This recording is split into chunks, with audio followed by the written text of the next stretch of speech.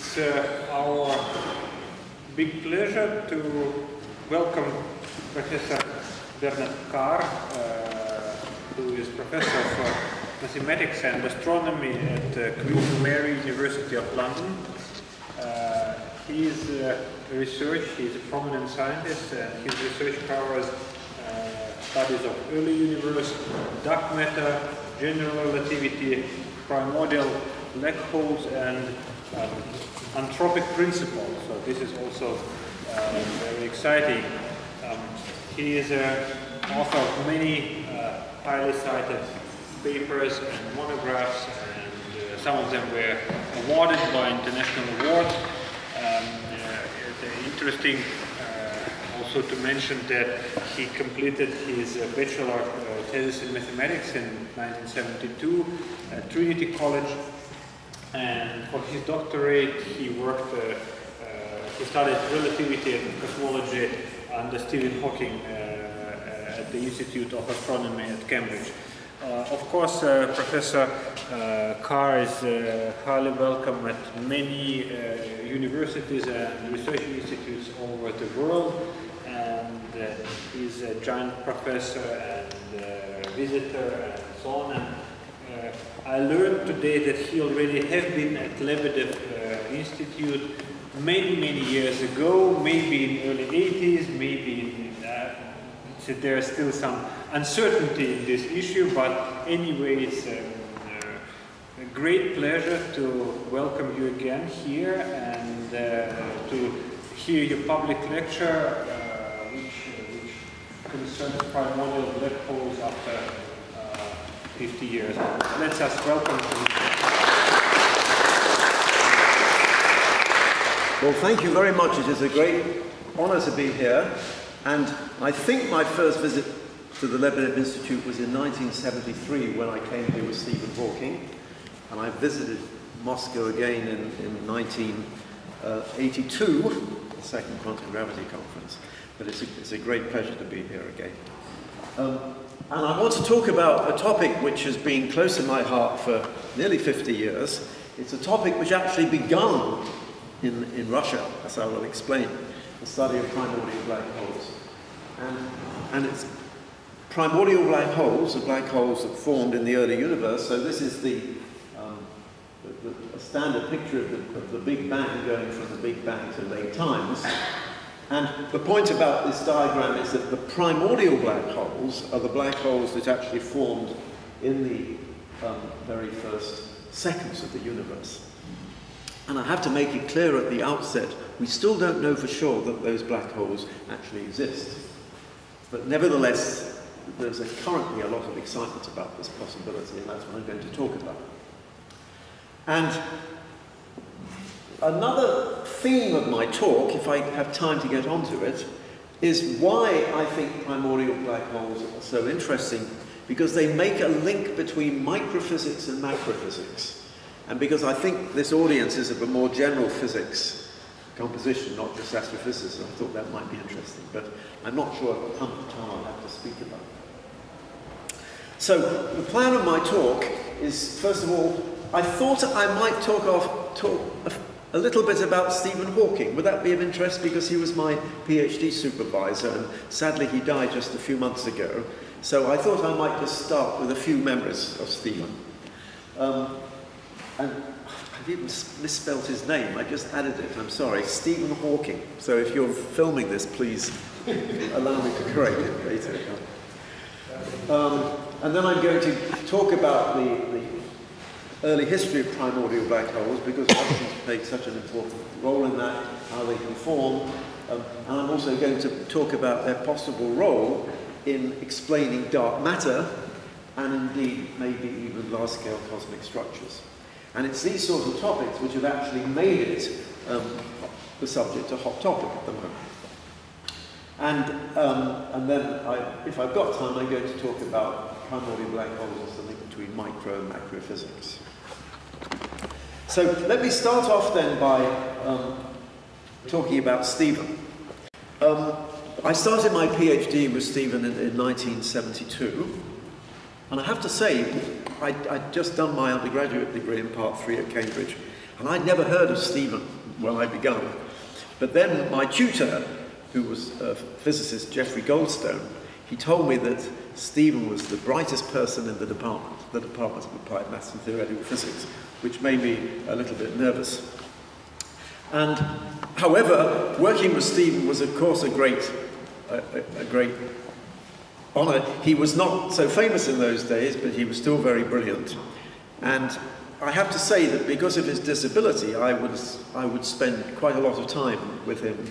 I was sharing an office with him and lived in his house for a while, so I had quite an intimate relationship, so it wasn't the normal student-supervisor relationship. But that meant that I was very privileged because I could, I could talk to Stephen and, and get his great insights. And, and talking to Stephen for just a few minutes would, would sometimes give me far more insights than talking to most people for, for months. But I have to say that conversations weren't always insightful. I can remember one little, one occasion where I was having a conversation with Stephen. I just had an idea, and I said, I explained this to Stephen, and I said, Stephen, does this make sense? And then Stephen thought, and for a minute and didn't say anything. And I was really impressed that I'd asked a question which Stephen couldn't answer immediately. And then his eyes closed, and I thought, my goodness, Stephen's having to think about this really deeply. but then eventually I discovered Stephen had fallen asleep.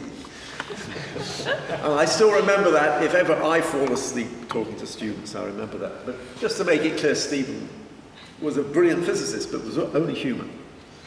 Now, this was the picture of Stephen when um, I began my PhD. I, in fact, I took that picture. And in 1974, 75, he went to Caltech for a year, and that was a very special year. It was the year, this was the year Stephen discovered Hawking radiation, and uh, I was lucky to have a sort of ringside seat. But also, it was Stephen's first chance to get away from Cambridge, it gave me a chance to get away from Cambridge which is somewhat more cloistered than Caltech, and it was a really exciting time. Um, this is a picture of me with Stephen and our secretary. Um, this was the house we lived in. I lived with the family. I had an arrangement whereby I would help Stephen at home and even babysit the children. Um, in exchange, I wouldn't pay any rent, so that was a, a good deal. Um, this was the family, Stephen and his Jane and his, his two young children, and Lucy. But of course, it was a really exciting time scientifically. And this is just a few, uh, I don't, maybe the resolution is a little bit too bad there. there there's uh, Stephen and me, Kip Thorne, um, Roger Penrose, Werner Israel, Bob Dicke, um, a few other, there are more people there, you can't probably resolve it, but there, for example, is, is, is Belitsky. Um, Belitsky's there, and Don Page, um, Jim Hartle, that goes for all of the names. There's Stephen in the middle. Stephen was, of course, in a wheelchair even in, in, in those days. Then the um, there, there's uh, Braginsky, who, of course, was a who, who worked wanted non-demolition and worked a lot with, with Kip Thorne. Um, and there is just a picture of um, we used to have conferences for Steve where all the students would get together, and this was the 60th conference, and uh, all the students would get together behind Stephen. And uh, I think that was the meeting where I uh, met Igor, Novikov was present. But anyway, the um, Stephen had his heroes. Um, he had Galileo as one of his heroes, and um, sorry, I didn't mean to go go backwards. Um, when I went to the Vatican, Stephen, in 1974, he was awarded a, a medal by the Pontifical Academy of Science, and Stephen insisted on going to see the, the recantation of Galileo in the archives. And uh, Stephen was born on the 300th anniversary of Galileo's death, so he obviously always felt a great affinity with him.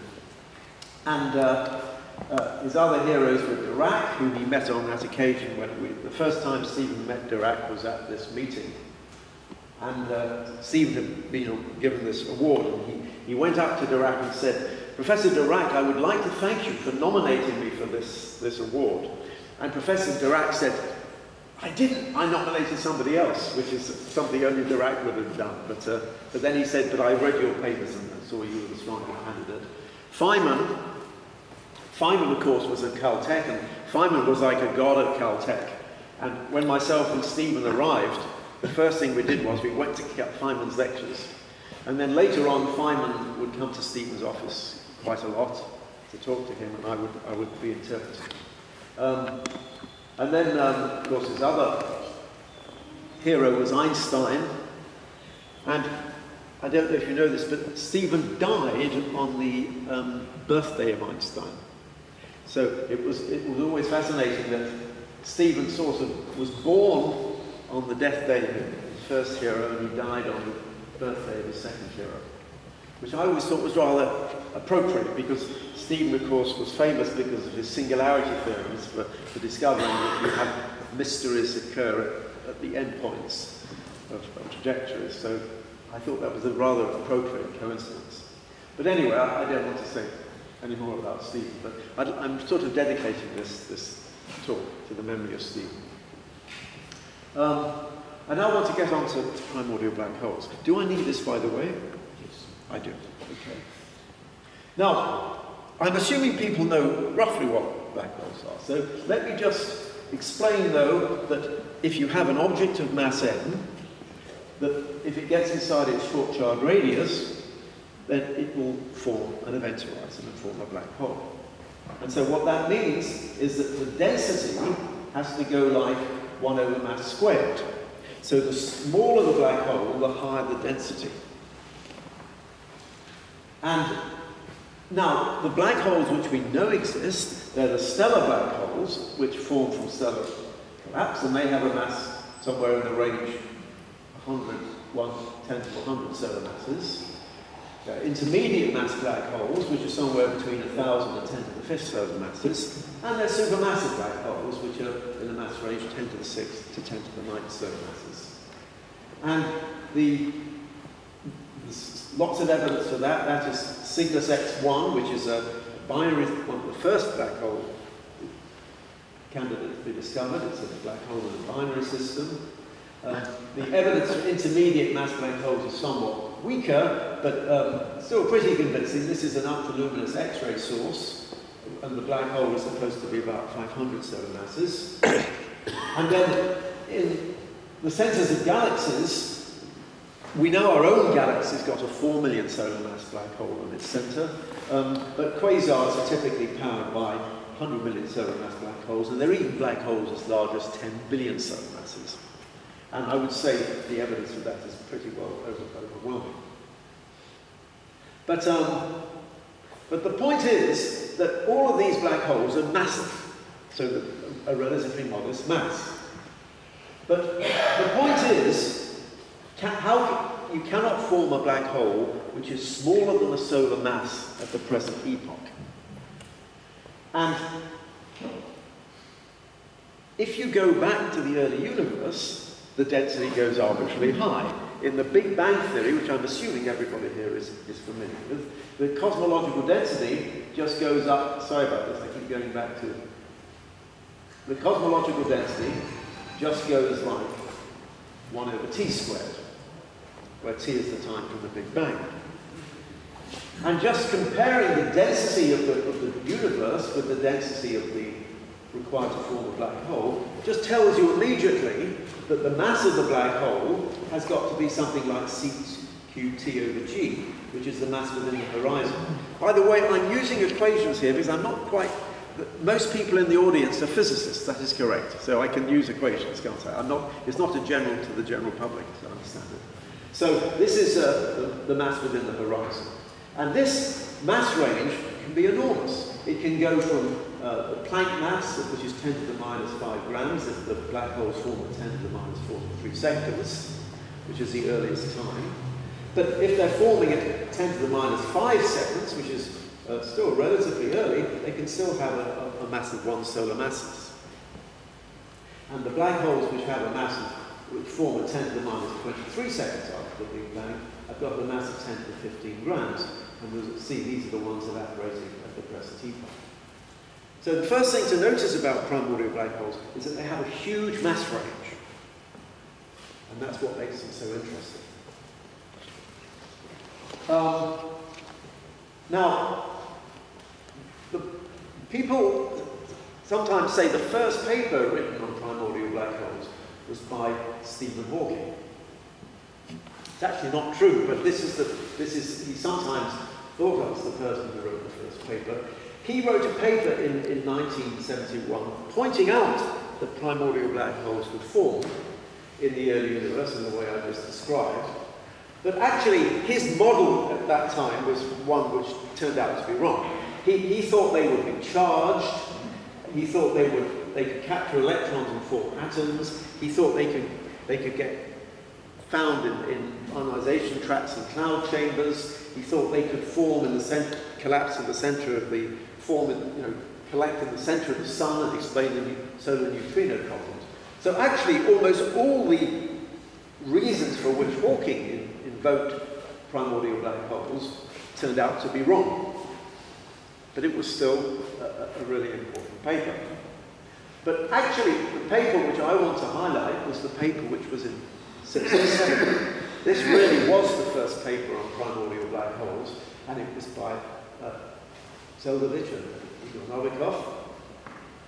And, but actually, this paper had a rather uh, ambiguous role in, in the subject, because what they showed in this paper was that if you formed a black hole in the early universe, the density and the pressure are so high that the black hole would accrete very fast. And it would accrete so fast that it, the black hole would grow as fast as the universe, so any primordial black hole today would end up having a mass of something like 10 to the 15 solar masses. And we know such black holes can't exist. And therefore, the natural implication of this was that actually primordial black holes didn't exist. Now, actually, I, I have a slide going showing the, what that argument was, but I'm going to skip that slide because I think um, I should say I'm giving a more technical talk on Thursday where I, can, I will be talking about some of these things in more detail. So forgive me if I quickly go through, I'm going to skip the, um, the argument. Should I be skipping this? Is this going to be too technical for the audience? I'm... Sorry? For anybody. For anybody, right. Okay, so let me go on to the next slide. I'm missing that one. Now, the first paper I wrote on primordial black holes, my first paper I wrote at all was with Stephen, and that was in 1974. And what we were able to show was that actually the conclusion of Zeldovich Novikov was actually wrong. Now the point was the Zeldovich Novikov, oh goodness, sorry, I'm not holding this. The Zeldovich Novikov argument actually did not allow for the expansion of the universe. It was not an exact relativistic calculation. It was perfectly correct as a Newtonian calculation. And what we were able to show in this paper was that primordial black holes would not grow very much at all. And, and so that was really good news because it meant there was no observational evidence against primordial black holes.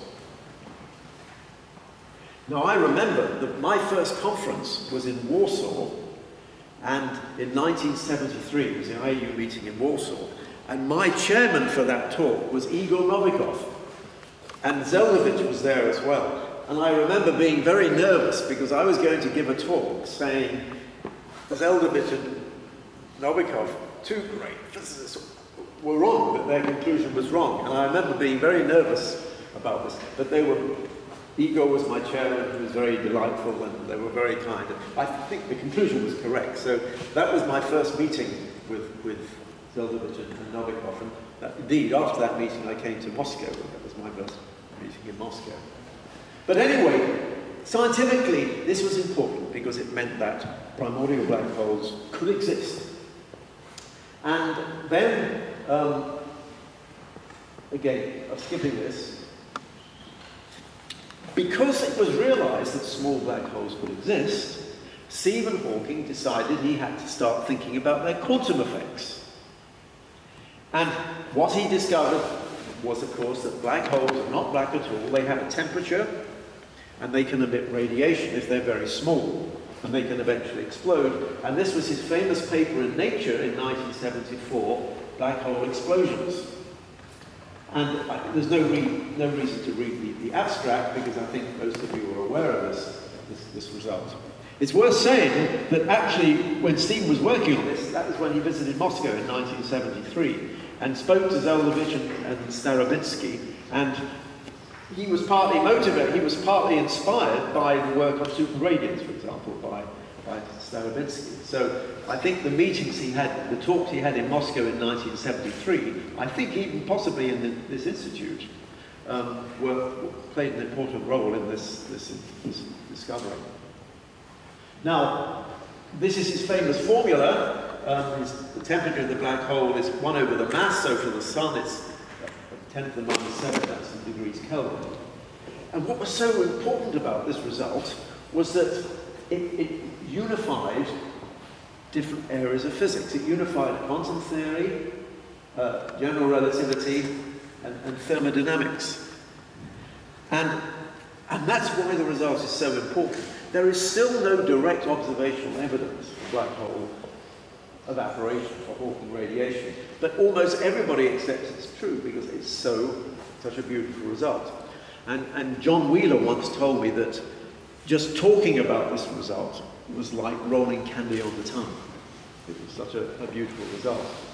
Um, I, sorry, I just, this is advertising my own book, rather naughty, um, on quantum black holes, but notice the arrow goes in the other direction. It didn't play any role. It's just, um, we talk about that in that book. So, um, but what's fascinating about this is that even if primordial black holes never actually formed, it was important to think about them because that's how Stephen Hawking discovered Hawking radiation. So it shows in physics that it can sometimes be useful to think about things even if they don't exist. But of course, it's much more interesting if they, if they do exist. Um, I have to say, one of the people in the audience, Stephen gave the first colloquium on black hole radiation at Caltech, and I used to sit at the front and help him, you know, give his slides.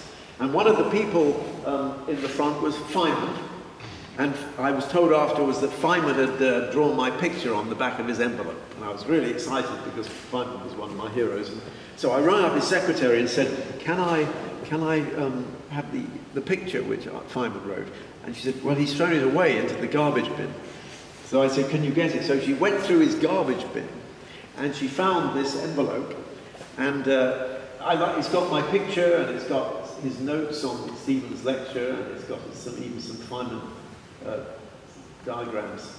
And it now sits on my mantelpiece frame, so it's one of my prized possessions. Let me go into black hole evaporation in a little bit more detail.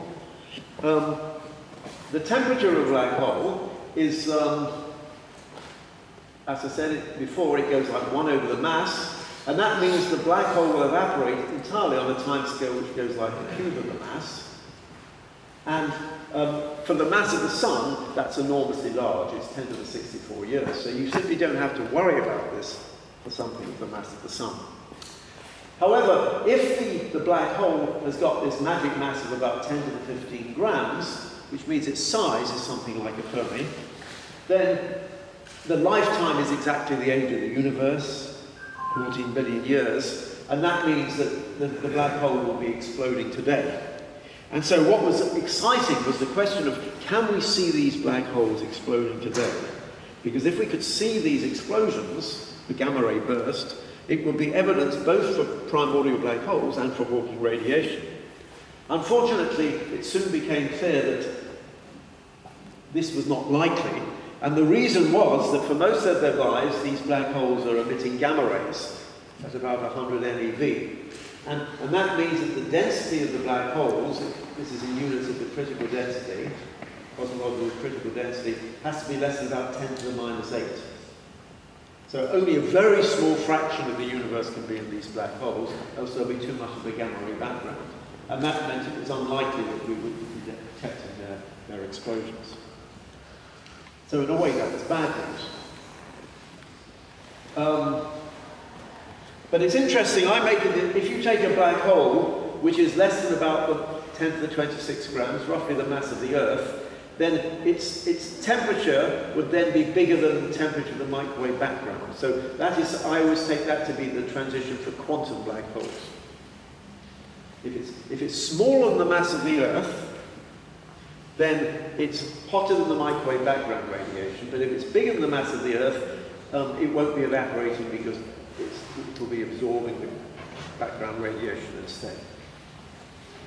Um, now, I want to now put the discussion about black holes in a somewhat broader context.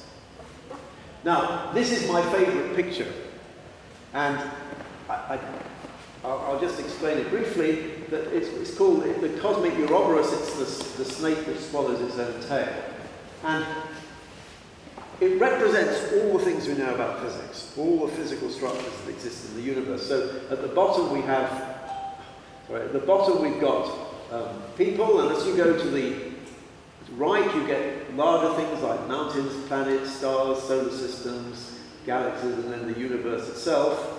Um, as we go to the left, we have successively smaller things um, like ants, um, amoebas, DNA, atoms, nuclei and subatomic particles, and then you get down to the scale of event theory. So essentially, as you go in this direction, you're going all the way from the Planck length to the, the scale of the physical universe. And it's 60 decades of scale, so you can think of this as like a clock where every minute is a factor of 10. And I love this diagram because it just summarizes all the physics. And also it shows the beautiful links between um, the micro domain on the left and the macro domain on the right. So th these links, for example, the same electric forces that provide solid, hold solid objects together like planets is the same electric force which keeps the electron in orbit around the atom. The same strong and weak force which uh, operates in the nuclear, in a nucleus of an atom is what controls nuclear burning in the sun. The same uh, supersymmetry force which is uh, probed with the Large Hadron Collider, for example, uh, is probably responsible, maybe responsible for the dark matter which we observe in, through observation of the galaxies. The same grand unified theory forces which we speculate about at very, very small scales probably responsible for the fluctuations which generate galaxies. So, in some sense, this summarizes all of physics and it shows the beautiful links between the micro and the macro world. Now the reason I'm showing this is because I want to show how black holes fit into this picture. So I'm now going to put around this picture the different black holes that exist in nature by size, because remember it's the size which is, represented in this diagram. So this is more or less in the order in which they were, in the order in which they were discovered. So we've got stellar black holes, intermediate mass black holes, a black hole in the Milky Way, black holes in quasars, in some sense the universe is a black hole. And then we, the primordial black holes, if they exist, the terrestrial mass, lunar mass black holes, and the black holes which are now um, evaporating, and the ones which are exploding when they get down to about 10 to the 10th grams, and then even the Planck mass black holes. And so most people who study black holes, they really only tend to study a subset of these. They, they might study the stellar black holes, or they might study the black holes in the centers of galaxies. Primordial black holes, they occupy the entire left-hand side of this diagram, and maybe even some of the right-hand side. So that's what makes them so interesting. And we still don't know that primordial black holes exist, but, um, well, if God exists, he will be very cruel not to build in the rest of this diagram. Um, and uh, also the, um, sorry. You, you have the division between the quantum and classical black holes at the bottom, and then you, when you get to the top, you have the possibility of higher dimensions and, and things like that. You're in the domain of, of M theory as well. Um, but anyway, that's to put it in context. And now I want to actually um, talk about primordial black holes in particular. And um, So just to, uh, this is, just to put it in context, uh, primordial black holes form in the early universe. Supermassive black holes probably form after relatively late in the universe, but just after a million years or so, and then the intermediate mass black holes and the stellar black holes uh, are formed late, and uh, then there could even be black holes and accelerators if you believe in higher dimensions. I'll make a mark for that at the end.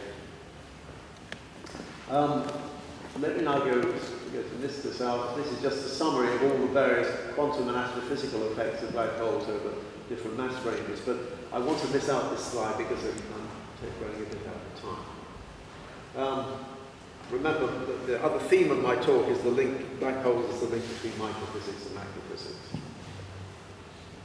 But now let me return to primordial black holes. I've told you that in principle primordial black holes can form because the density of the, uni of the universe is very high. But they will only form if you've got some particular mechanism. If the universe was completely uniform, no primordial black holes would form. And so the question is, how do they actually form? And the most natural way in which they would form is if there were inhomogeneities in the early universe. Density fluctuations, because we know density fluctuations give rise to galaxies, and uh, the same sort of fluctuations on a smaller scale could give primordial black holes, and in particular, if we believe in, inflation, inflation could generate the inhomogeneities that might make primordial black holes. Um, another possibility is that the pressure may have been reduced at some early time. So normally when the universe is, the, in most phases the early universe has got high pressure, it's radiation dominated, but in some cases the pressure can be reduced and then black holes form more easily. And this was a, a subject which, again, the Russians um, pioneered, uh, my friend um, Sasha Polnarev and also Maxim Khlopov uh, I haven't put the names there, but they introduced this idea. Because black holes form more easily when the pressure is reduced. If there were cosmic strings in the early universe, which some people believe, then under certain circumstances those cosmic strings could form loops and then collapse to form black holes. And that puts constraints on the string parameter. Um, I won't go into the details of this because those of you who are familiar with the concepts will understand, but those who aren't, it would take too long to explain. But I just want to get across the idea there are different mechanisms for forming them.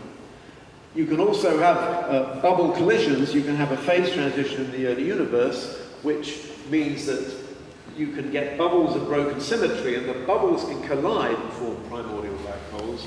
Um, and again, you can even have whole domain walls forming and collapsing to form black holes. So these are um, this again is a subject that Russian physicists have worked on a lot. So those are the mechanisms through which they work, through which the, the primordial black holes will form. Um, my own first paper on the subject goes back to 1975, where I was interested in how primordial black holes can form from inhomogeneities. Um, now, I'm, I'm, slightly worried I'm going to be getting too technical at this point because um, I wasn't quite sure whether the... Most people here are physicists, is that correct? So I will go through these equations and if it gets too technical I will just, some, just tell me and I'll stop. But, but um, so, because it's, it's, such a simple idea, I, I, I want to explain. If you have an overdense region in the early universe, that overdense region will eventually stop expanding with the universe and it will recollapse. But it can only collapse into a primordial black hole if it's bigger than what's called, if it can collapse against the pressure, which is called the Jeans length. And that Jeans length um, is just root alpha times the horizon size, where P equals alpha rho is the, the equation of state. And it's very easy to show that that means that when the region comes inside the horizon, its amplitude must be bigger than this parameter alpha. And for example, if the early universe is radiation dominated, alpha is a third. So it's a very simple criteria. Now, you expect that the um, fluctuations in the early universe are going to have a Gaussian distribution. And they're going to have some um, root m mean square um, amplitude epsilon m, which is like the width of this Gaussian distribution. So you can see that you're only going to form primordial black holes from the, the tail of this Gaussian distribution. And then you can easily show from that that the fraction of the universe collapsing just depends on the amplitude, expected fluctuation amplitude at the horizon clock, epsilon m, and it depends exponentially, exponential to the minus 1 over epsilon squared. Now, the point about that diagram, this equation, is it's showing you that only a tiny fraction of the universe is going to collapse into primordial black holes. And it's exponentially small. Um, and in those days, we used to think that the, the amplitude of fluctuations would be scale invariant, and that meant that the, uh, there would be the same fraction of black holes forming on every mass scale, so you would be able to predict uniquely what the, the mass function of the, of the primordial black hole would be. So that was the simple analytic prediction. Um, oh, there was a, a reference to the Khlopov and Polnarev work for the soft equation of state. But that was, of course, a very simple analysis, a very simple analytic analysis of the formation. Um, a very important paper um, came out, which was by Novikov, Polnarev, Starobinsky, and Zeldovich, looking at the formation of primordial black holes in more detail. And they did numerical calculations, and this is, uh, again, I'm afraid this may be a little bit too technical, for the audience. But basically, they, they put in big perturbations into the universe with a characteristic size and pressure gradient, and, and they, they basically analysed under what circumstances the primordial black holes would form, and sort of confirmed the rough qualitative picture which I just described. So that was an important uh, paper in the development of the subject. I'm sorry, you can't read the diagrams very clearly, but I don't think I should talk about this in too much detail anyway. But they basically just confirmed that if the perturbation was big enough, um, you would form primordial black holes. Now, the other point is that you can ask what fraction of the early universe can have gone into primordial black holes. And you can very easily show that the fraction of the universe going into primordial black holes must have been very, very small.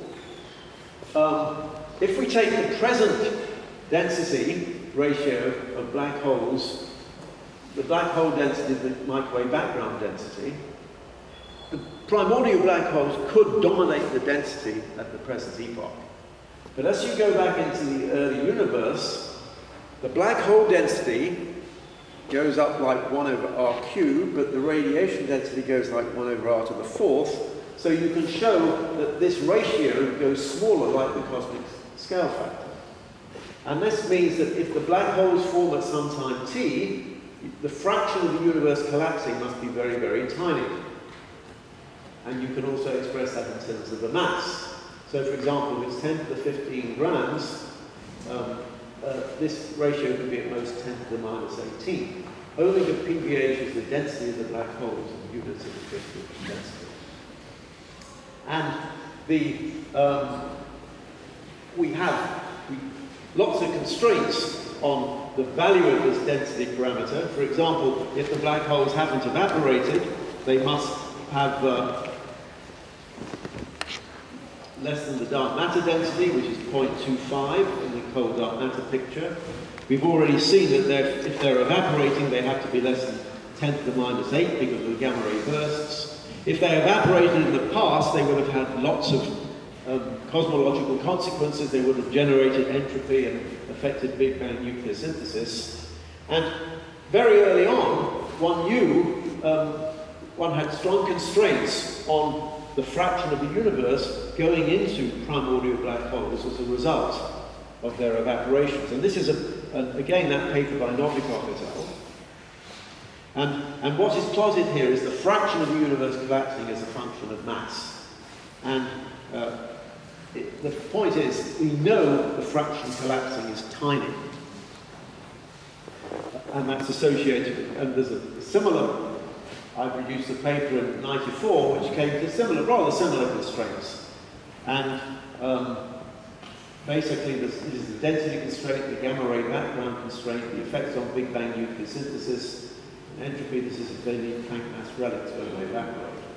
So the point is we have really strong constraints on the fraction of the universe going into primordial black holes. But we know it's going to be tiny anyway, for the reasons I, I explained. Um, so now, since then, a lot of effort has been put into calculating the constraints on the fraction of the universe collapsing. Um, this is a diagram, I'm not, again, I'm going to skip this because I'm, I'm, i think it's too technical, but this is looking at constraints on the collapse fraction. Sorry, well, just, let me just say that if you've got a constraint on beta m, that in turn puts a constraint on the the amplitude of the fluctuations in the early universe. Um, because of the relationship between beta and epsilon. So I can turn that beta m diagram into an epsilon m diagram. Remember epsilon is the horizon amplitude fluctuation. And so basically what we, we, we see from that diagram is uh, our current observations only tell us about large-scale structure the, amplitude of the fluctuations on the very largest scales, we can see if we want to make primordial black holes, the fluctuations have to be much. Well, first of all, you've got a unique probe of the fluctuations on small scales, but you also need the fluctuations to actually be much larger on small scales. So that's the first thing we learn is that if you want to make primordial black holes out of fluctuations, you need to actually have a form which makes bigger fluctuations at small scales. Um, I'm going to skip this diagram, sorry, it's too technical. Um, I'm going to skip this diagram. I wasn't quite sure what the level of the audience was, so that's why I'm changing cutting out some of the slides. But I want to say something about inflation. I think most people now are aware that most cosmologists think that the early universe went through an inflationary phase, which meant that it was expanding exponentially fast. And so what are the implications of that for primordial black holes? Well, the first thing is that primordial black holes formed before inflation basically just get inflated away. And we know when inflation actually um, we have limits on when inflation could have been, and so any black holes um, which were less than a gram would no longer exist. those black holes would have been inflated away. That's because the reheating temperature, which is the temperature after inflation, we, we have upper limits on that. It must be less than 10 to the 16 GeV, and that gives us a, a, a limit on the time inflation ended. So we don't think any black holes less than the gram will still exist if you believe in inflation. But the point about inflation is that inflation generates fluctuations. And the fluctuation depends on the form of the potential, which is actually um, This is the potential associated with inflation. Depends on the scale of field, and that's the potential. And inflation occurs as the universe rolls down that minimum. But the point is, inflation generates fluctuations. And those fluctuations um, depend on the form of potential. And so those fluctuations could, in principle, generate primordial black holes. Now, there have been a huge number of papers written about inflation primordial black holes, so I'm not going to try and review them here. I mean, essentially, if you have any theory of inflation, of which there are now 100 models of inflation, the first thing you do is to see whether it makes too many primordial black holes. And so I, I can talk about that in more detail in my lecture on because it's more technical. However, I do want to, I want to advertise one important paper, and this was a paper which was, uh, I think, uh, 1970, 1970, uh, 1994, I think. And this was the paper by Asher Ivanov and, uh, and, and uh, Pasha Naselsky and Igor Novikov again. And they wrote one of the first papers, I think, on inflation in primordial black holes, and also proposed that the primordial black holes could make the dark matter, which is the theme I'll be referring to later on. And, um, and this was again using a simple scalar field model where you introduce some feature in the potential. There are many more complicated inflationary models, but this is the one which is the simplest one to consider. Now, I now want to get on to the topic of, of dark matter. Because I, I focus mainly, I've spoken quite a lot about the evaporation of black holes, because black holes evaporation is such an important physical process. But actually, what's currently more interesting is the black holes that don't evaporate. The ones that are bigger than 10 to the 15 grams. And that's interesting because people are interested in whether primordial black holes can make the dark matter. Now, we know there's lots of dark matter. We know that from observations of galaxy rotation curves and clusters and things. But we don't know what the dark matter is. A lot of people think the dark matter is some form of elementary particle, what's generically called a WIMP. But after 30 years, no one has found any evidence for WIMPs, either through accelerator searches or direct searches or indirect effects. And so people are getting a bit despondent about that, and, and so people are turning to other possibilities, and the most exciting possibility is primordial black holes. Because we do know that black holes exist. So you don't need to invoke any new physics. Um, and furthermore, there's been a lot of attention recently, I'll come back to later at this time, about you know, the LIGO detection of gravitational waves. The two coalescing black holes, there have now been five events like this. But the, the point is the mass of those black holes are rather large, larger than was expected if they formed from stellar collapse. So some people have thought that maybe these black holes actually detected by LIGO were primordial black holes.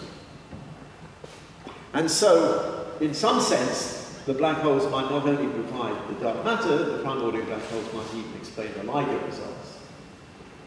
And this, um, well, this is a little uh, advert to encourage this idea. However, there's one problem with this. I've emphasized all along that the fraction of the universe which collapses into primordial black holes is very, very, very small. Okay?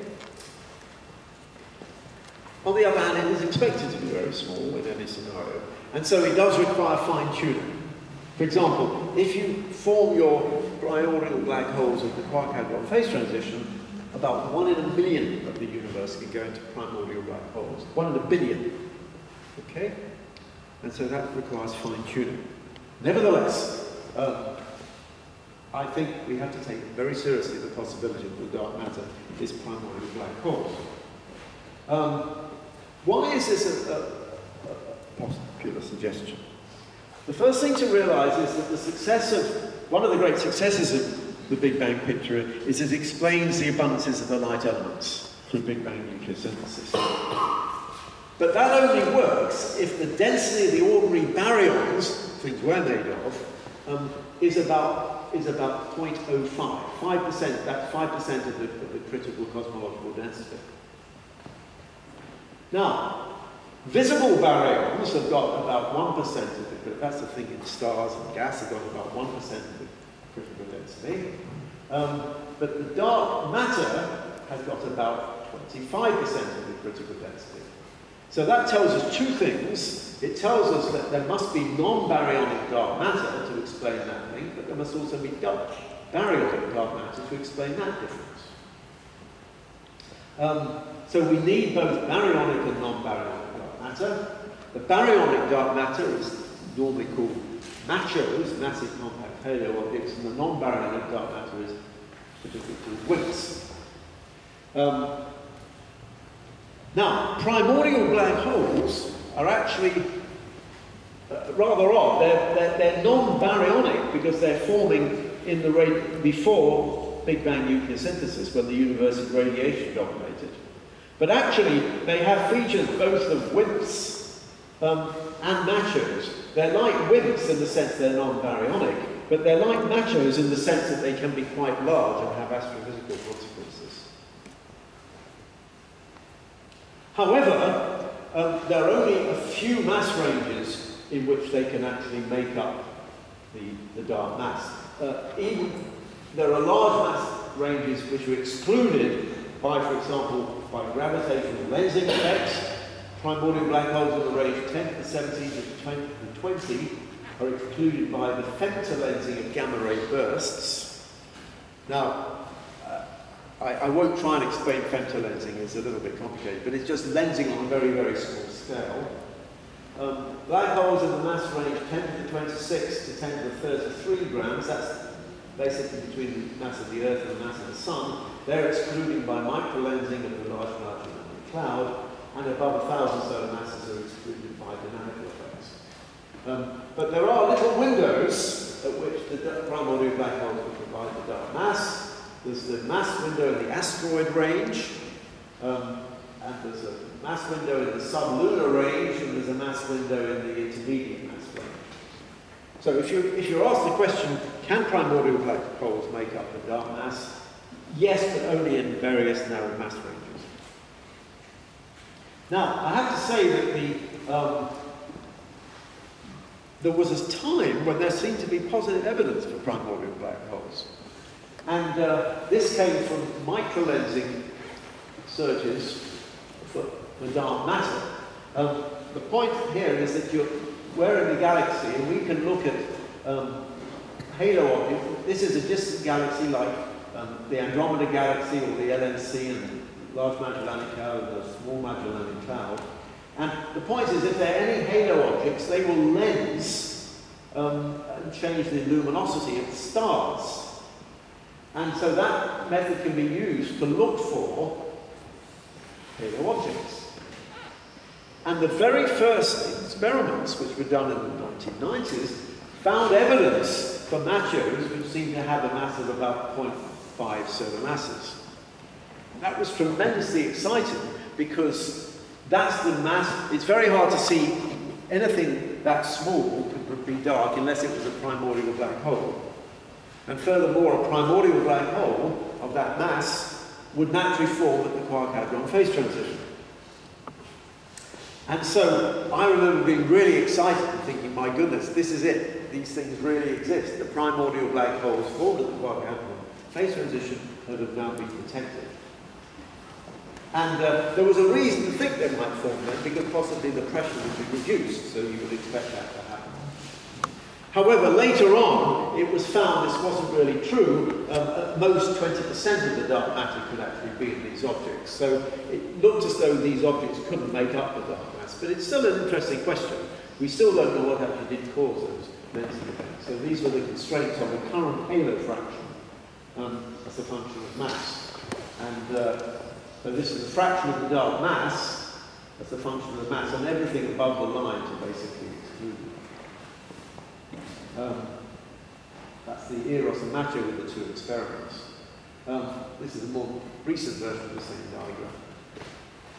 Um, now this diagram looks a little bit complicated, but basically uh, this is just a paper I did just a few years ago with uh, Kühnel and Sandstad, where we put together all the constraints on the F, which is the fraction of the halo, in black holes, primordial black holes of a given mass. So this goes all the way down from 10 to the minus 17 solar masses to something like, sorry, in terms of grams, it goes solar masses 10 to the minus 17 all the way up to something like 10 to the 14 So It's a bit hard to read. And basically, all of these shaded regions are excluded by various sorts of observations. Now, I don't have time to go into all of those, but basically, this is the uh, gamma ray background from the evaporating black holes. This is the destruction of white dwarfs and neutron stars. This is the destruction of uh, lots of dynamical effects associated with the destruction of star clusters and wide binaries and things. And there's also uh, accretion effects. But basically, anything in that diagram which is, which is colored is excluded. So you can see immediately that if you want f equals 1, which is at the top here, there are only these narrow ranges of masses which are allowed. And this diagram is uh, a bit clean, I'll get rid of the word. So um, basically, it, it, confirms what I mentioned before, that there are really only a few windows as the intermediate mass window, intermediate mass, uh, that's something like 10 solar masses. There is the uh, sublunar mass range, and then there is this asteroid mass range. So really, that's just emphasizing what I said before, that if you want primordial black holes, um, they can really only be in three narrow, three narrow windows. There's also the possibility of Planck mass relics if evaporating black holes need Planck mass relics, but I'm not going to get into that now. it's a distraction. Um, well, so which mass window is most plausible? And you'll find theorists um, are split. There are people who, for example, want all the dark mass to be in um, 10 solar mass objects. This is a, a, a recent paper. All of these are, theorists are invoking inflation. And so this is a particular example which gives you a peak at 10 solar masses. On the other hand, there are other theorists, the Japanese here, who've got a model where they want the peak to be in the sort of sublunar range. So you'll find the theorists are a little bit split as to whether they want to use the, the, the, the lunar or the intermediate mass range window. But at least um, in theory, you, you could have either. I personally favour the, um, the tensor mass, the intermediate mass one. Um, now, I mentioned before, what has made this topic exciting is the discovery of the LIGO events. Now, I'm sure, assuming everybody is familiar with LIGO, it detected the coalescence of two black, black holes and the gravitational radiation from that coalescence. But the important point was, I mean, that was tremendously important because it was the confirmation of the existence of gravitational waves and of, prime, and of black holes. But the point about it was that the black holes were much bigger than uh, was expected. So if we have the, um, this is the mass, and in, in blue we have the, the black holes detected by uh, X-ray X-ray binaries, and in red we have the black hole mass range associated with these, with these LIGO coalescences. And what you can see is that LIGO black holes are bigger than the black holes which we knew existed. This, this is a nice representation. Each of these little blue configurations represents the merger of two black holes into one big black hole, and it's not very legible, but you've got the mass on the right. So you can see these blue objects, and, and these purple objects are the accreting ones. The colour is a bit different. So it basically gets across the message. The black holes detected by LIGO were bigger than expected, and therefore perhaps represents a different population. And really there are two options. Um, one option is that the black holes were, were what we call population three. The first generation of stars gave rise to black hole remnants, rather than black holes forming galaxies. But the second possibility is that they're primordial. And so the question is, really, are the black holes detected by LIGO actually primordial? And this is uh, among the LIGO team, it's probably a, a, low probability. I mean, they, but they always refer to this possibility. But when I go to meetings on primordial black holes, it's almost taken for granted they're primordial black holes. So it depends who you speak to. But, but in any case, it's the, the possibility that the, the primordial black holes could be explaining the LIGO events which has also stimulated interest in the possibility they make the dark mass. Some people have argued that if primordial black holes make up the dark mass, sorry, make the LIGO events, then they have to make up the dark mass as well. But, but other people have, have argued, no, you could still make the LIGO events with primordial black holes, but only have a small fraction of the dark mass. So there's some ambiguity there. But I think that's what's, what's exciting. Um, now, um, Finally, I want to talk about another possibility, and that is the possibility that the primordial black holes could actually be even larger than I've talked about so far, and maybe generate cosmic structures. So I'll just, this is a recent paper I've written with Joe Silk, so I'll just summarize the, the basic idea. Um, the question is, what is the maximum mass of a primordial black hole? You remember I started off saying that the black hole, primordial black hole has a horizon mass which could go all the way from 10 to the minus 5 grams to a solar mass. But actually, in principle, it could be even larger than that.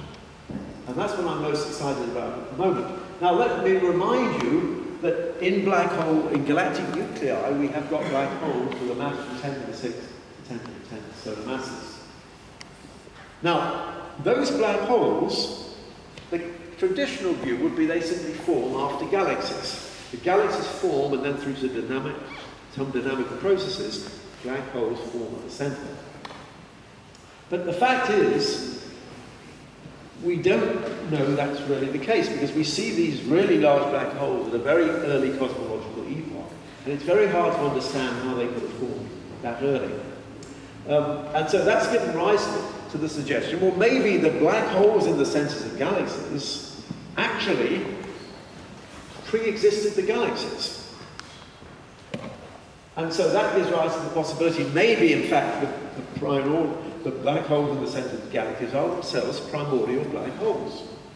Um, now, I always used to argue that there wouldn't be any black holes formed before one second, after one second, because of Big Bang nucleosynthesis. So I always used to argue there wouldn't be any primordial black holes bigger than 10 to the solar masses, because they would have to have formed after nucleosynthesis. But actually, I later realized that that really is a, a wrong argument, because the fraction, remember the fraction of the universe going into such large black holes in one second is about one in a million. Remember that, I showed that on an early slide. Well, really, if one of the millionth of the universe goes into primordial black holes, um, it's not going to have a big effect on nucleosynthesis. So in principle, you can have bigger black holes than that. And so in principle, if you have supermassive primordial black holes could, could generate, they would have to accrete, but they could generate the big black holes in the centers of galaxies. But more than that, in principle, if you've got supermassive black holes, they could actually generate cosmic structures. And this is what we talk about. They, they can generate it either through what's called the seed effect. If you have a, if you have a big million solar mass black hole, it can, it can gravitationally bind a much larger region. So it's like a condensation nucleus. Or there's another effect called the Poisson effect. If you have a lot of black holes in a region, you get a Poisson fluctuation. And so uh, we argue in this paper that, that, that, in fact, big black holes um, supermassive black holes could have a really important effect on, cosmic structure. If you look at the relationship between the mass of the galaxy and the mass of the, of the black hole, central black hole, observationally, it's, it's, it's well known, it's a, more or less a, a, a, proportionality. The mass of the black hole is, is correlated with the mass of the, the bulge, and it's, it's more or less a straight line. And the seed effect naturally predicts that um, the mass of the bound region is going to be basically um, a thousand times um, the mass of the, the mass of the bound region will be a thousand times the mass of the seed. That comes out of simple gravitational instability theory. So one of the advantages of the seed theory is it naturally explains this, this empirical observation. And furthermore, um, it would also naturally predict the mass function of galaxies will turn out to have the Press-Schechter mass function, which looks something like that. And it predicts a characteristic full density profile. Now, I'm not saying, you know, because people who work on the standard cold dark matter pictures, structure formation, will argue that their picture works fine. But actually, uh, it does work fine on certain scales, but there are problems with the cold dark matter picture on, on, on small scales, on the scales of galaxies themselves, as I there's no time to go into that. And what we argue is that primordial black holes um, are, could be important for resolving those problems. So we're not saying the whole standard picture is wrong, but we're saying that primordial black holes produce a sort of spike in the power spectrum of fluctuations, which, which could be relevant. And uh, I, I, don't have have time to go into that now, but I just wanted to throw in that. In ending, let me just say something about uh, the popularity of primordial black holes. Um, when I started working on this subject uh, way back in, in, the 70s, you know, it was not only a small fraction of people worked in, the field, and only a small fraction of people took it seriously. Um, and um, so I, am plotting here a sort of timeline, the popularity, I don't quite know what popularity means, because I've always been interested in, but it means how many people write papers about it. So this was the, I haven't put the, the Zeldovich Novikov paper, which goes to 67, but, um, but if we start at 71, which was in some sense the argument that they should exist, then that's the start of the subject. And then there was the interest in them forming from inhomogeneities, um, and then I haven't mentioned it before, Crawford and Schramm suggested that they can form at the hadron phase transition. Um, by the way, what's nice about primordial black holes forming at the hadron phase transition? They have the mass of, about the mass of Jupiter, but also they're going to have the size of a football, okay? And I quite like the idea that dark matter could be in football size black holes, but it's topical obviously with the, the football tournament we just had here in Moscow. But anyway, that, that was that, and then 93 there were claims to detect these objects through microlensing, and then, as I mentioned before, in 97 they, MACHO thought it had found these objects, um, and then people thought they could form through the quark phase transition. I sort of explained this really exciting. But then, of course, it all went away again when we found the microlensing constraints were actually ruling them out as the dark matter. And then uh, I mentioned the possibility that the dark matter could be either Planck mass relics, which I've not talked about, or subluminant or intermediate mass black holes. Um, and then most but then some of those ranges were excluded by dynamical accretion effect, which I talked about. But now we've got the LIGO results. So really, what's exciting is that now, 2018, I guess, there really is an excitement in primordial black holes. And the, um, the measure of popularity is sort of rather vague, but this, this is more specific.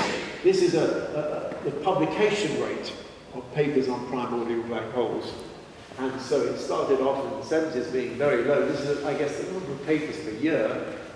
But now you can see it's basically soared. Um, but it's proceeding LIGO, but basically because of the interest in, in, in dark matter and, uh, and, the, and the LIGO events.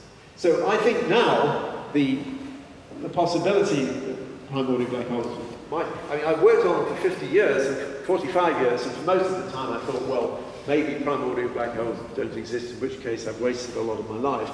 But now, ironically, as I retire, um, it seems that they're coming into, into vogue again. So I find that quite exciting. But on the other hand, I have to say, if the dark matter turns out to be primordial black holes, all those thousands of people who work on WIMPs will be very annoyed. So I know I'm going to be very unpopular. So, but anyway, truth, truthful with that. So really, um, no, I've, I've, got a whole chunk of my talk which I haven't given. I was at one stage going to talk about the links between black holes, elementary particles, and the links between the macroscope, the micro and the macro physics. But I, have run out of time, so I'm going to stop that. So I'm just going to go to my final quote, which is a dedication to Stephen. Um, yeah. So this talk is dedicated to the memory of my friend and mentor, Stephen Hawking. He was a pioneer of primordial black holes. If they play any of the roles discussed in this talk, this may have been his most prescient and important work. If people ask, what seems most important discovery, most people will say black hole radiation. And that's true. But actually, if primordial black holes exist, then his 71 paper will have been regarded, I would say, just as important. And in fact, by the same token, the paper by Novikov, and all, because I have to say, the Russian, what's, why I'm so pleased to be giving this talk here is that it's the Russian cosmologists played such a crucial role in the whole history of this subject, not only in 67 with the first Novikov Zeldovich paper, but with a host of other uh, Russian cosmologists. I mean, I've only mentioned it, I've mentioned, of course, um, Pasha, but uh, there have been many other Russian cosmologists who worked on this subject. And so I, that's why I'm so pleased to bring what I hope is good news that primordial black holes exist. So, um, Stephen, um, the last time I saw Stephen was at his 76th birthday, little birthday tea party. Um, there were only about a dozen people there. He was already very ill. Um, and to be honest, we thought he would probably die quite soon. This, I gave him a little birthday present, which was the, a leaning tower of Pisa. So, which of course links to Galileo, who did his experiments on gravity. Um, and so that was the last time I saw Stephen, and uh, I, uh, I then went to Japan for a month, and I was a bit worried that he would, he, he would die while I was away, but he didn't. But I got back and he died within just a few hours of my return, so there was some sort of consolation in that. Um, and then, this is a picture of Stephen when he became Lucasian professor, and this is the, actually, he's beheaded, but this is Isaac Newton. And um, was the Lucasian professor before him. So Stephen also had the Lucasian chair. As I'm sure you probably heard, Stephen had the, the great honour of being interred in Westminster Abbey.